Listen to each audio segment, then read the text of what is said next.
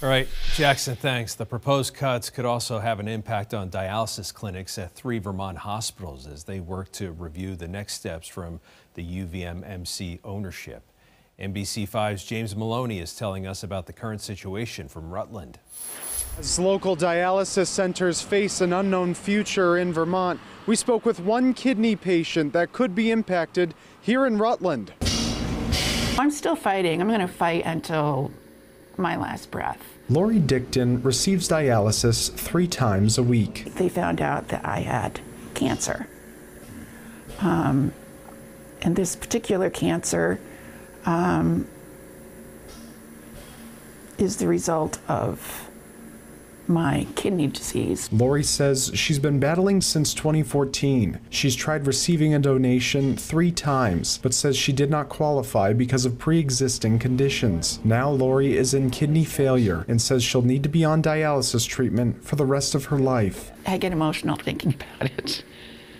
Um, you just have to have the mindset where this is today. I'm going to make make it the best day I can and live one day at a time.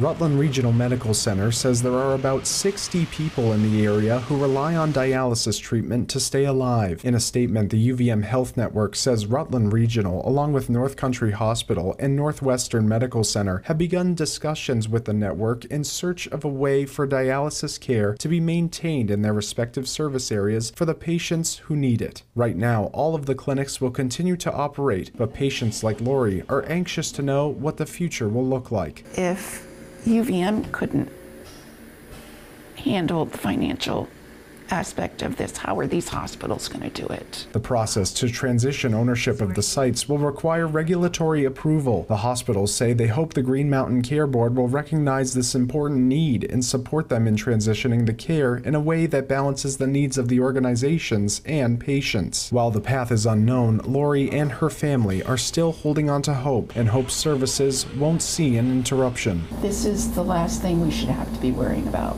And Rutland Regional Medical Center says they are evaluating the dialysis program to determine the impact in the community.